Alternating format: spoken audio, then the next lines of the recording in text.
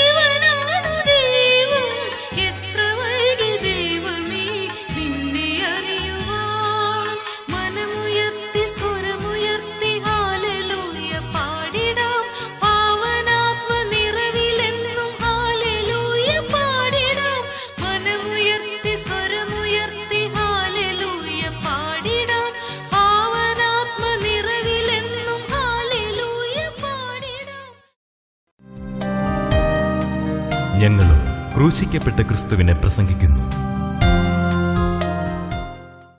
ദൈവ തിരുനാമത്തിന് മഹത്വം ഉണ്ടാകട്ടെ. ഉൽപ്പത്തി പുസ്തകം നാൽപ്പത്തി ആറാം അധ്യായത്തിന്റെ മുപ്പതാം വാക്യം ഞാൻ നിങ്ങളെ വായിച്ചു കേൾപ്പിക്കാം. ഇസ്രായേൽ യോസേപ്പിനോട് നീ ജീവനോടിരിക്കുന്നു എന്ന് ഞാൻ നിന്റെ മുഖം കണ്ടറിഞ്ഞതുകൊണ്ട് ഞാൻ ഇപ്പോൾ തന്നെ മരിച്ചാലും വേണ്ടതില്ല എന്ന് പറഞ്ഞു. നാം ചിന്തിച്ചു തന്നെ കയറ്റിക്കൊണ്ടുപോകുവാൻ യോസേഫ് അയച്ച രഥങ്ങളെ കണ്ടപ്പോൾ അവരുടെ അപ്പനായ യാക്കോവിന് വീണ്ടും ചൈതന്യം വന്നു എന്ന്. മതി എന്റെ മകൻ യൗസേപ്പ് ജീവനോടിരിക്കുന്നു. ഞാൻ മരിക്കും മുൻപേ അവനെ പോയി കാണും എന്ന് ഇസ്രായേൽ പറഞ്ഞു. യാക്കോവ് ആദ്യം അത്ഭുതപ്പെട്ടു. യൗസേപ്പ് ജീവനോടുകൂടി ഇരിക്കുന്നു എന്ന വാർത്ത വളരെ അതിശയകരമായൊരു വാർത്തയായിരുന്നു. മരിച്ചുപോയി എന്ന് ധരിച്ചിരുന്ന തന്റെ മകൻ ജീവനോടിരിക്കുന്നു. ആ അപ്പന്റെ ഉള്ളം കുളിർത്തു.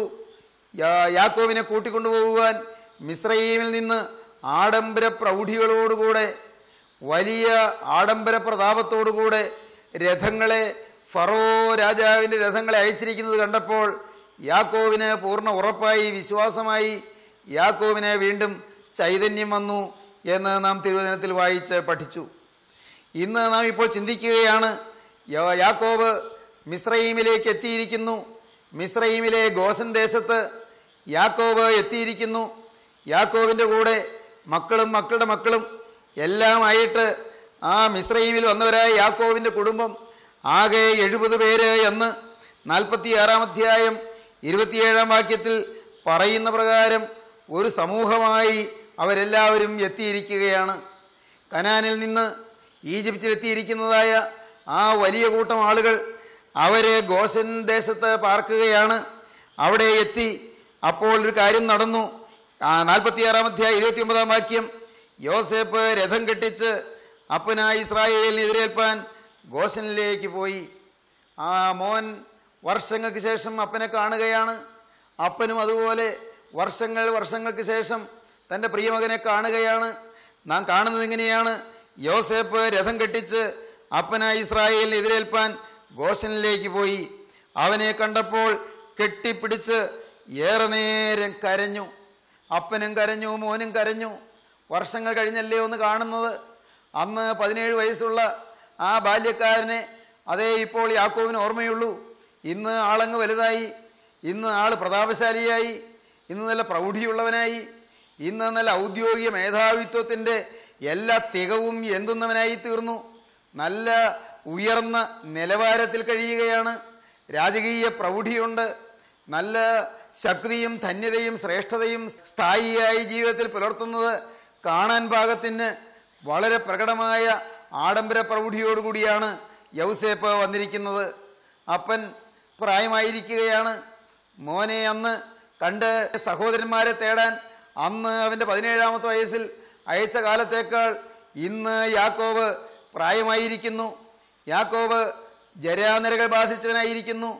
യാക്കോബ് ശരീരം ക്ഷീണിച്ചിരിക്കുന്നു. പക്ഷേ മുഖത്ത് വലിയ ചൈതന്യം. ശരീരം ക്ഷീണിച്ചാലും മുഖത്ത് ചൈതന്യം ഉണ്ടാകും. ശരീരം ക്ഷീണിച്ചാലും ഹൃദയത്തിൽ ചൈതന്യം ഉണ്ടാകും. ഈ ലോക ജീവിതത്തിൽ പ്രശ്നങ്ങൾ വന്നാലും ആത്മാവിൽ ചൈതന്യം ഉണ്ടായിരിക്കും. ദൈവ പൈതലിന്റെ ഉള്ളിൽ ക്രിസ്തു ഉണ്ടെങ്കിൽ ചൈതന്യമുണ്ട്. പ്രിയപ്പെട്ടവരെ വിശ്വസിക്കൂ. യേശു ക്രിസ്തു നമ്മുടെ ഹൃദയത്തിൽ വസിക്കുന്നുണ്ടെങ്കിൽ നമ്മുടെ ഹൃദയത്തിൽ ചൈതന്യമുണ്ട് ശരീരത്തിൽ ക്ഷീണം ഉണ്ടായേക്കാം ആരോഗ്യക്കുറവുണ്ടായേക്കാം ബലക്ഷയം ഉണ്ടായേക്കാം പണ്ടേ പോലെ കരുത്തോടെ പ്രവർത്തിക്കാനുള്ള ശേഷിയും ശേമുഷിയും കണ്ടില്ല എന്ന് വന്നേക്കാം. സ്ഥൈര്യവും ധൈര്യവും പലപ്പോഴും മറ്റുള്ളവരുടെ മുമ്പിൽ പ്രദർശിപ്പിക്കാൻ കഴിഞ്ഞില്ല എന്ന് വന്നേക്കാം. പക്ഷേ ഉള്ളത്തിൽ വലിയ ചൈതന്യമായിരിക്കും. യാക്കോബ് ചൈതന്യവത്തായ അനുഭവത്തിന്റെ തികവിൽ യൗസേപ്പിനെ എതിരേൽക്കുകയാണ്. യൗസേപ്പ് അപ്പനെയും എതിരേൽക്കുകയാണ്. നാം വായിക്കുന്ന ഇങ്ങനെയാണ് യോസേപ്പ് രഥം കെട്ടിച്ച് അപ്പനായി ഇസ്രായേലിനെ എതിരേൽപ്പാൻ ഗോശനിലേക്ക് പോയി. അവനെ കണ്ടപ്പോൾ കെട്ടിപ്പിടിച്ച് ഏറെ നേരം കരഞ്ഞു. ഏറെ നേരം കരഞ്ഞുകൊണ്ട് നിന്നു. മിണ്ടാൻ പറ്റുന്നില്ല. വാക്കുകൾ പുറത്തു വരുന്നില്ല. പറയുമല്ലോ ചിന്തകന്മാർ പറയുമല്ലോ. ഹൃദയം നിറഞ്ഞിരിക്കുമ്പോൾ വാക്കുകൾ ചുരുങ്ങും. Words are few. When the heart is full. ഹൃദയം നിറഞ്ഞിരിക്കുമ്പോൾ വാക്കുകൾ ചുരുങ്ങിപ്പോകും. വാക്കുകൾ വരുന്നില്ല. തൊണ്ട ഇടറുന്നു. ഗദ്ഗത സ്വരത്തിൽ എന്തോ പറയാൻ തുടങ്ങുന്നുണ്ട്. ഒന്നുമൊന്നും ശബ്ദമഴുകി വരുന്നില്ല. യാക്കോവിനെന്തോ പറയണമെന്നുണ്ട്. മോന് യൗസേപ്പിന് എന്തോ പറയണമെന്നുണ്ട്. ഒന്നും ഒന്നും വാക്കുകൾ പുറത്തു വരുന്നില്ല. അക്ഷരം തെളിമയോടെ കേൾക്കാൻ ഒക്കുന്നില്ല. ഏറെ നേരം കരഞ്ഞു. അപ്പനും കരഞ്ഞു മോനും കരഞ്ഞു. ഒരിക്കലും പ്രതീക്ഷയില്ലാത്ത കാര്യം നടക്കുകയാണ്. ഇതാ തീർന്നു എന്ന് വിചാരിച്ചിരുന്ന ആ യൗസേപ്പിനെ ഇപ്പോൾ കാണാൻ നേരിട്ട് കിട്ടുകയാണ്.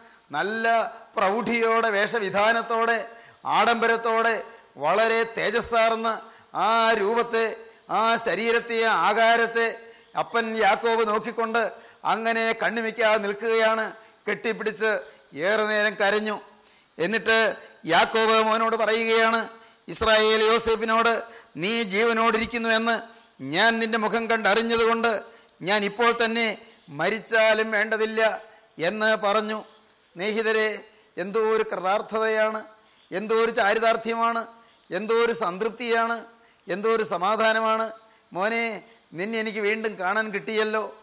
എന്റെ മോനെ നിന്നെ കാണാൻ പറ്റുമെന്ന് ഞാൻ ധരിച്ചിരുന്നതല്ലല്ലോ. എന്റെ കുഞ്ഞെ നിന്നെ വീണ്ടും കാണാൻ എനിക്ക് ദൈവം ഇടവരുത്തിയല്ലോ. ദൈവം എത്ര നല്ലവനാണ്. നമ്മുടെ ദൈവം എത്ര ശ്രേഷ്ഠനാണ്. നമ്മുടെ ദൈവം എത്ര സ്നേഹമാണ്. അത്ഭുതങ്ങൾ അതിശയങ്ങൾ നടത്തുന്ന നമ്മുടെ ദൈവം നമ്മുടെ കുടുംബത്തിൽ അത്ഭുതം പ്രവർത്തിച്ചിരിക്കുകയല്ലേ? സഹോദരങ്ങളെ ആ അപ്പൻ ഏങ്ങലടിച്ചുകൊണ്ട് പറഞ്ഞു ഈ വിതുമ്പി വിതുമ്പി കരഞ്ഞുകൊണ്ട് പറയുകയാണ് ഇസ്രായേൽ യോസേപ്പിനോട് നീ ജീവനോടിരിക്കുന്നുവെന്ന് ഞാൻ നിന്റെ മുഖം കണ്ടറിഞ്ഞതുകൊണ്ട് ഞാൻ ഇപ്പോൾ തന്നെ മരിച്ചാലും വേണ്ടതില്ല എന്ന് പറഞ്ഞു. മോനെ ഞാൻ ദുഃഖത്തോടെ പാതാളത്തിലേക്ക് ഇറങ്ങുമെന്നാണ് ഞാൻ പറഞ്ഞിരുന്നത്. എന്റെ നര ദുഃഖത്തോടെ പാതാളത്തിലേക്ക് ഇറങ്ങും. വയോ വാർദ്ധക്യം പ്രാപിച്ച് ഞാൻ ഈ ഭൂമിയിൽ നിന്ന് മാറ്റപ്പെടുമ്പോൾ കടുത്ത ദുഃഖത്തോടെ പോകേണ്ടി വരുമല്ലോ. നിരാശയോടെ ഉള്ളു തകർന്നവനായി ഞാൻ ഈ ഭൂമിയിൽ നിന്ന് വിട പറയേണ്ടി വരുമല്ലോ എന്നൊക്കെ ഓർത്തതാണ്. എന്നാൽ എന്റെ കുഞ്ഞെ എന്റെ ദുഃഖമെല്ലാം മാറി. ഞാനിപ്പോൾ മരിച്ചാലും പൂർണ സമാധാനത്തോടെ എനിക്ക് കടന്നു പോകാം. എന്റെ മകൻ ജീവനോടിരിക്കുന്നു. പ്രിയപ്പെട്ടവരെ നിങ്ങൾ ഓർക്കുക നിങ്ങളുടെ ഓർമ്മയിൽ നിങ്ങൾ പുതുക്കുക. ഈ യൗസേപ്പ് യേശുക്രിസ്തുവിന്റെ നിഴലാണ്. ഈ യൗസേപ്പ് യേശുക്രിസ്തുവിന്റെ സിമ്പലാണ്. ഈ യൗസേപ്പ് യേശുക്രിസ്തുവിന്റെ പ്രതീകമാണ്. മോനെ നീ ജീവനോടിരിക്കുന്നത് കൊണ്ട് ഇനി ഞാൻ മരിച്ചാലും വേണ്ടതില്ല. എന്താണ് അതിന്റെ അർത്ഥം? ക്രിസ്തു എന്നിൽ ജീവിക്കുന്നു. ഇനി മരിക്കാൻ എനിക്ക് പേടിയില്ല. അതാണ് നമ്മുടെ നാവിൽ നിന്ന് വരേണ്ടത്. അതാണ് നമ്മുടെ ഹൃദയത്തിൽ നിന്ന് വരേണ്ടത്. എന്റെ ഉള്ളിൽ ക്രിസ്തു സന്തോഷത്തോടെ വസിക്കുന്നു. എന്നിൽ ക്രിസ്തു ഐശ്വര്യമായി വാഴുന്നു. എന്റെ ഈ നിസ്സാര ഹൃദയത്തിൽ കാരുണ്യവാനായ ക്രിസ്തു അവിടുന്ന് അധീശനായി വാണരുളുന്നു. അവിടുത്തെ നിയന്ത്രണത്തിലും ഭരണത്തിലും എന്റെ ജീവിതം അവിടുന്ന് ഏറ്റുവാങ്ങിയിരിക്കുന്നു. ഞാൻ ക്രിസ്തുവിന്റെ വകയാണ്. എന്നെ നയിക്കുന്നത് ക്രിസ്തുവാണ്. എന്നെ നടത്തുന്നത് ക്രിസ്തുവാണ്. എന്റെ ഭരണം ക്രിസ്തുവിന്റെ കരങ്ങളിലാണ്. അതുകൊണ്ട് എനിക്ക് മരിക്കാൻ ഭയമില്ല. എത്രയോ പേര് മരണത്തെക്കുറിച്ച് ഓർക്കുമ്പോൾ ഞെട്ടിപ്പോകുന്നു. മരണത്തെക്കുറിച്ച് ചിന്തിക്കുമ്പോൾ വേവലാതി പൂണ്ട് പരിഭ്രാന്തിയോടെ വലിയ ഭയവിഹ്വലതയോടെ വലയുകയും ഏങ്ങലടിക്കുകയും ചെയ്യുന്നു. എന്നാൽ പ്രിയപ്പെട്ടവരെ മരണത്തെ കൂസലില്ലാതെ നേരിടാൻ ഒരു ദൈവദാസന് സാധിക്കും. ക്രിസ്തു അകത്തുള്ളവന് എപ്പോൾ മരണം വന്നാലും ഏത് പ്രായത്തിൽ മരണം വന്നാലും എങ്ങനെ മരണം വന്നാലും അവന് ഭയമില്ല. കാരണം അവനറിയാം ദൈവത്തിന്റെ ദൂതന്മാർ വന്ന് എന്നെ അബ്രഹാമിന്റെ മടിയിലേക്ക് കൊണ്ടുപോകുമെന്ന്. അവനറിയാം ദൈവത്തിന്റെ മാലാഖമാർ വന്ന് എന്നെ സ്വർഗീയ സിയോൻപുരിയിലേക്ക് ആനയിക്കുമെന്ന്. അവനറിയാം എന്നെ കരുണയുള്ള കർത്താവിന്റെ ദൂതന്മാർ വന്ന് എതിരേറ്റ് രാജാധിരാജന്റെ തിരുസന്നിധാനത്തിൽ എത്തിക്കുമെന്ന്. പ്രിയപ്പെട്ടവരെ അതൊരു വലിയ ഭാഗ്യമാണ്. ക്രിസ്തുവിൽ മരിക്കുക എന്ന് പറയുന്നത് വലിയൊരു ഭാഗ്യമാണ്. എഴുതുക ഇന്നു മുതൽ കർത്താവിൽ മരിക്കുന്ന മൃതന്മാർ ഭാഗ്യവാന്മാർ എന്ന് ഈ തിരുവചനത്തിൽ നിന്ന് വായിക്കുന്നു. വെളിപ്പാട് പുസ്തകം പതിനാലാം അധ്യായം പതിമൂന്നാം വാക്യം വായിക്കുമ്പോൾ ഇങ്ങനെ കാണും. അപ്പോൾ ഞാൻ സ്വർഗത്തിൽ നിന്ന് ഒരു മഹാശബ്ദം പറയുന്നതായി കേട്ടത്. സ്വർഗത്തിലെ മഹാശബ്ദം ഭൂമിയിൽ മുഴങ്ങി കേൾക്കുകയാണ്. എന്താണ് സ്വർഗത്തിലെ മഹാശബ്ദം? സ്വർഗത്തിൽ നിന്നൊരു മഹാശബ്ദം പറയുന്നതായി ഞാൻ കേട്ടത്. എഴുതുക ഇന്നു മുതൽ കർത്താവിൽ മരിക്കുന്ന മൃതന്മാർ ഭാഗ്യവാന്മാർ. എഴുതുക ഇന്നു മുതൽ കർത്താവിൽ മരിക്കുന്ന മൃതന്മാർ ഭാഗ്യവാന്മാർ. മരിക്കാൻ ഭയമില്ല. ക്രിസ്തുവിലാണ് ജീവിതം. ക്രിസ്തുവിലാണ് മരണം. ക്രിസ്തുവിൽ ലയിച്ചിരിക്കുകയാണ്. ക്രിസ്തുവിൽ അലിഞ്ഞിരിക്കുകയാണ്. ക്രിസ്തുവിൽ ആനന്ദം മുഴുവനായി ഉൾക്കൊണ്ട് ജീവിതമാകെ അലിഞ്ഞ് ലയിച്ച് ഇഴുകി ചേർന്നിരിക്കുകയാണ്.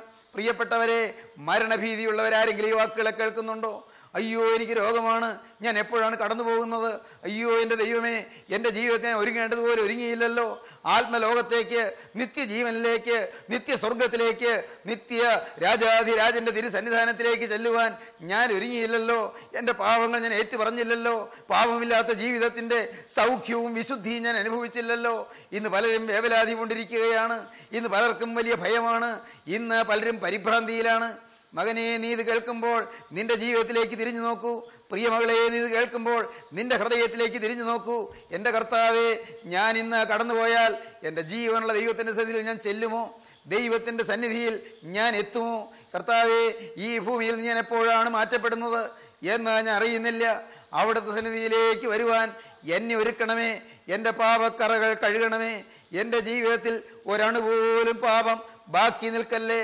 നാഥ ഞാൻ അറിഞ്ഞും അറിയാതെയും തെറ്റുകൾ വന്നുപോയി. ഞാൻ മനസ്സോടെയും മനസ്സുകൂടാതെയും പാപങ്ങൾ വന്നുപോയി.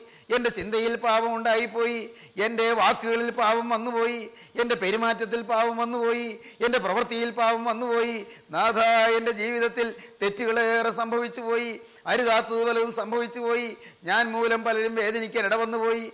ഞാൻ മൂലം ചിലർക്ക് ദുരിതവും ദുഃഖവും വന്നുപോയി. ഞാൻ ചിലർക്ക് വഴി മുടക്കിപ്പോയി. ചിലരെ അവരുടെ ജീവിതത്തിലെ മുന്നേറ്റത്തിൽ ഞാൻ പിന്നിലേക്ക് വലിച്ച് അവരെ കുതികാൽ വെട്ടുവാൻ കുതികാൽ ചവിട്ടുവാൻ ഞാൻ എന്റെ ജീവിതത്തിൽ അപായകരമായി ചെയ്യുവാൻ ഞാൻ തയ്യാറായിപ്പോയി.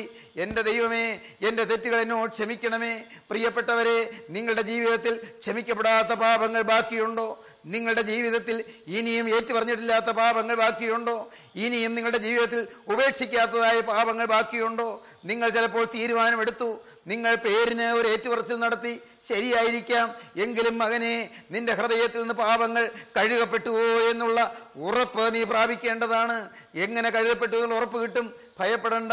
മേലിൽ വരില്ല എന്നുള്ള ഉറപ്പ് നിനക്കുണ്ടെങ്കിൽ കഴുകപ്പെട്ടു എന്ന് നിനക്ക് ഉറയ്ക്കാം. വളരെ ലളിതമാണ്. ഇനിമേൽ എന്റെ ദൈവം ദുഃഖിക്കുന്നതൊന്നും എന്റെ ജീവിതത്തിൽ വരികയില്ല എന്ന കനത്ത ഉറപ്പ് കനത്ത നിശ്ചയം നിനക്കുണ്ടോ? അത്ര ദൃഢമായ ഉറപ്പ് നിനക്കുണ്ടോ? മകനെ ഭയപ്പെടേണ്ട.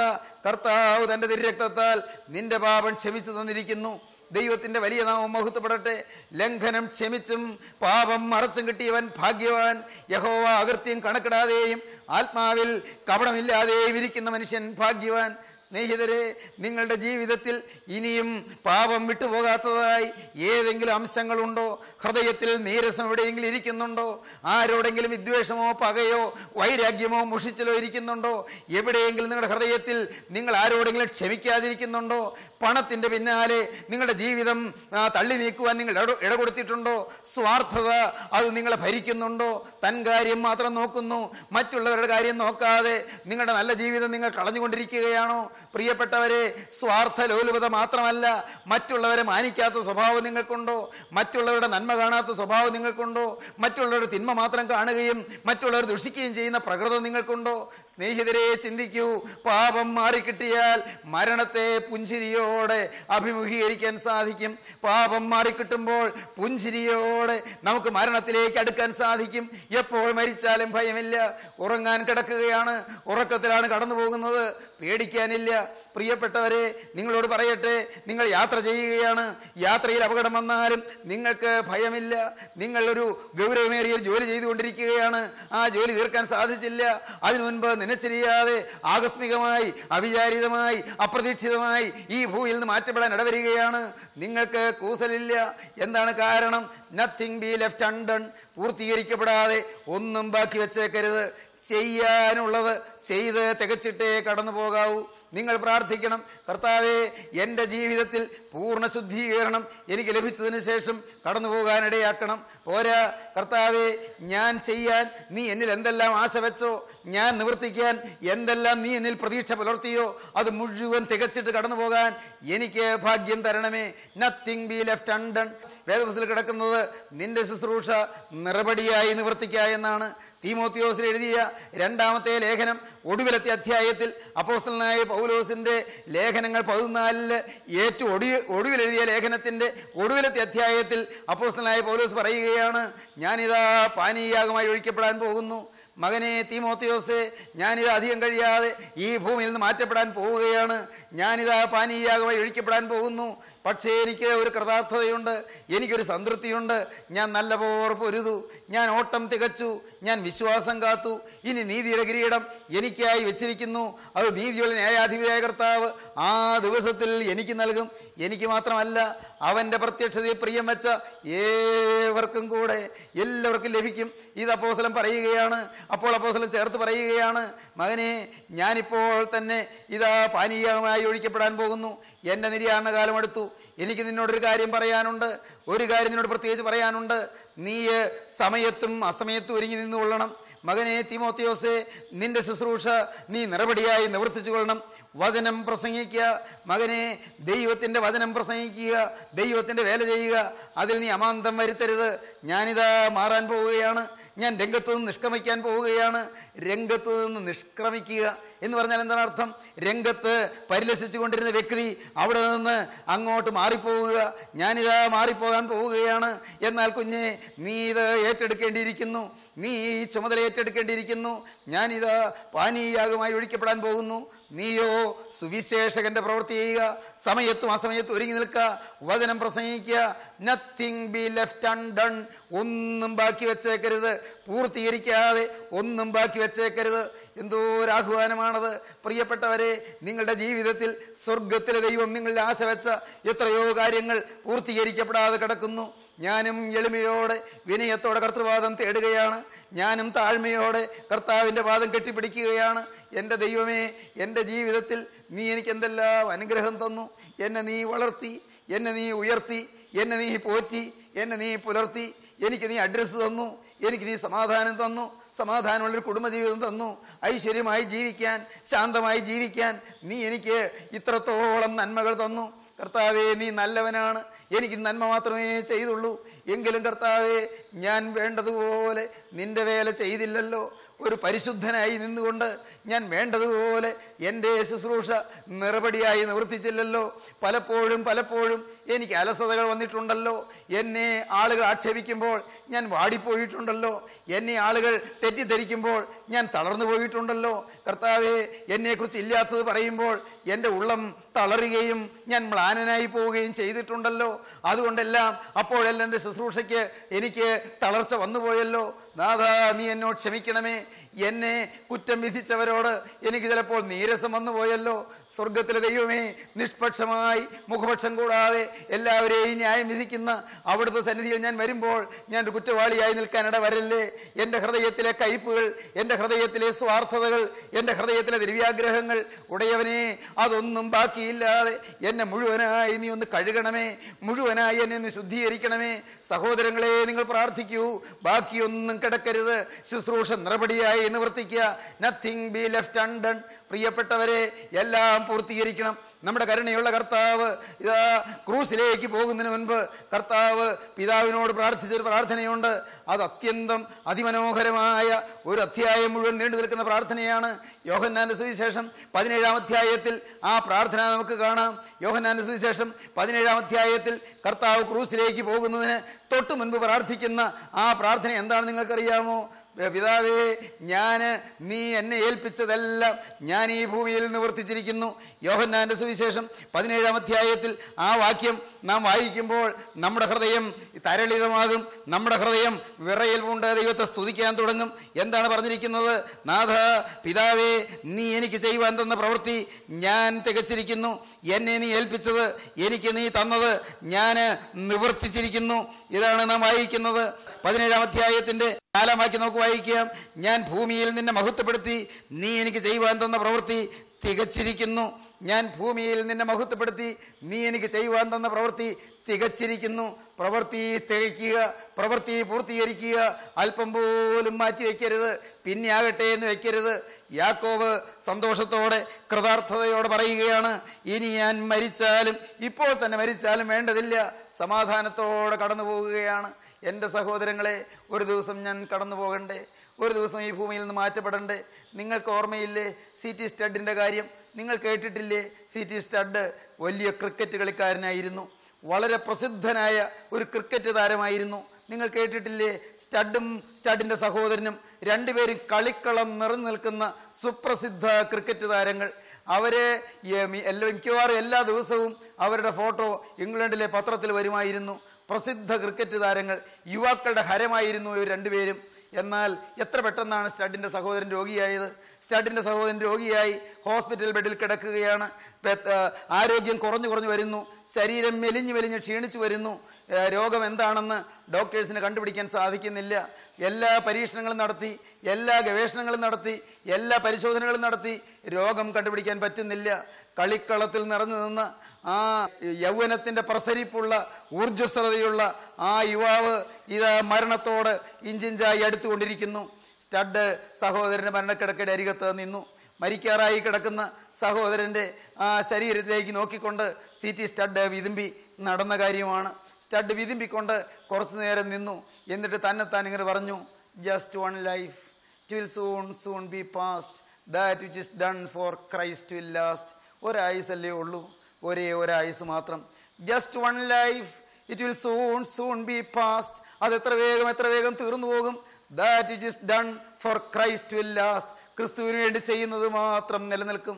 എന്റെ പ്രിയ സഹോദരങ്ങളെ ക്രിസ്തുവിന് വേണ്ടി നിങ്ങൾക്ക് എന്തെങ്കിലും ചെയ്യാൻ പറ്റുമോ? ക്രിസ്തുവിനെ നിങ്ങളുടെ ഹൃദയം കൊടുക്കാൻ പറ്റുമോ? ക്രിസ്തുവിനോട് നിങ്ങൾക്ക് വാക്ക് പറയാൻ പറ്റുമോ? ക്രിസ്തുവിനായി നിങ്ങളുടെ ഉള്ളം തുറക്കാൻ പറ്റുമോ? ക്രിസ്തു പ്രസാദിക്കുന്ന ഒരു ജീവിതം നയിക്കാൻ നിങ്ങൾക്ക് ആഗ്രഹമുണ്ടോ? നാഥ നീ അവിടുന്ന് ക്രൂസിൽ മരിച്ചത് നിന്നെ തന്നെ എനിക്ക് വേണ്ടി തരാനാണെന്ന് ഞാൻ വിശ്വസിക്കുന്നു. ക്രൂസിൽ മരിച്ചു കിടന്ന യേശുവേ ക്രൂസിൽ നിന്ന് നീ ഇറങ്ങി വന്ന് എന്റെ ഹൃദയത്തിൽ ശയിക്കണമേ എന്റെ ഹൃദയത്തിൽ സിംഹാസനസ്ഥനായി വാഴണമേ എന്റെ ജീവിതത്തിന് ചുക്കാൻ പിടിക്കണമേ എന്നെ നീ നിയന്ത്രിക്കണമേ. പ്രിയപ്പെട്ടവരെ യുവാക്കളെ നിങ്ങൾ കേൾക്കുക യൗവനക്കാരെ നിങ്ങൾ ശ്രദ്ധിക്കുക സഹോദരികളെ നിങ്ങൾ ശ്രദ്ധിക്കുക ക്രിസ്തുവിന് വേണ്ടി ഉള്ളം തുറന്നു കൊടുക്കുക. അതാണ് ഏറ്റവും വലിയ പരമഭാഗ്യം. എല്ലാം എല്ലാം തീർന്നു പോകും എല്ലാം എല്ലാം മാറിപ്പോകും. മാറിടും മനുഷ്യരെല്ലാം മറന്നിടും സ്നേഹിതരും മാറ്റമില്ലാത്തവൻ എൻ മനുവേൽ. പ്രിയപ്പെട്ടവരെ മരണത്തെ ജയിച്ച് മാറ്റമില്ലാത്തനായി നിൽക്കുന്ന എൻ മനുവേൽ ഇമ്മാനുവേലായ കർത്താവായ യേശു അവൻ മാത്രം നിൽക്കുന്നു. സ്നേഹിതന്മാർ മറന്നുപോകും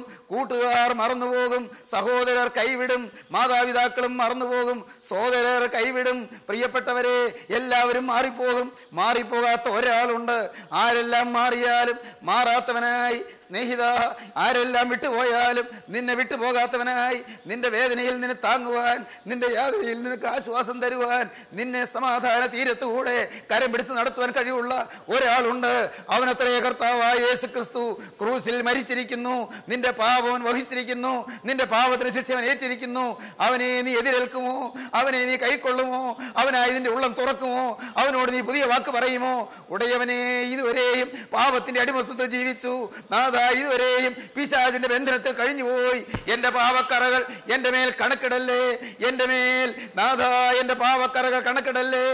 എന്റെ പാവക്കറകൾ കഴുകണമേ. യേശുവിന്റെ തിരക്തത്താൽ എന്നെ കഴുകി വെടിപ്പാക്കണമേ. ഒരു പുതിയ സൃഷ്ടിയായി ജീവിപ്പാൻ പുതിയ ഭാഗ്യം എനിക്ക് തരണമേ. പുതിയ ജീവിതം എനിക്ക് തരണമേ. പുതിയ കൃപ തരണമേ. പുതിയ ആത്മാവിനെ ഭരിക്കണമേ. പുതിയ ശക്തി എന്നിൽ പകരണമേ. പുതിയ ശാന്തിയിലേക്ക് എന്നെ നയിക്കണമേ. പുതിയ സമാധാനത്തിൽ വാഴണമേ. യേശുവേ പുതിയ ആകാശഭൂമികളിൽ വാഴുവാനുള്ള സ്വർഗീയ സൗഭാഗ്യത്തിന്റെ സമുന്നത ശ്രേണിയിലേക്ക് എന്നെ കരയേറ്റണമേ. പ്രാർത്ഥിപ്പീൻ ദൈവജനമേ. നിങ്ങളെ തന്നെ സമർപ്പിപ്പീൻ ദൈവജനമേ. ക്രിസ്തുവിനായി ഉള്ളം തുറക്കുവീൻ. നമുക്ക് പ്രാർത്ഥിക്കാം. കാരുണ്യവാനായ ഞങ്ങളുടെ പൊന്നേശുവേ ജീവനുള്ള നാഥ അവിടുത്തെ സന്നിധാനത്തിലേക്ക് വരുവാൻ ഈ സമയം തന്നതിനായി സ്തോത്രം. ജീവന്റെ വചനം ഞങ്ങളെ കേൾപ്പിച്ചതിനായി സ്തോത്രം. സ്നേഹത്തിന്റെ വചനത്താൽ ഞങ്ങളെ കുളിർപ്പിച്ചതിനായി സ്തോത്രം.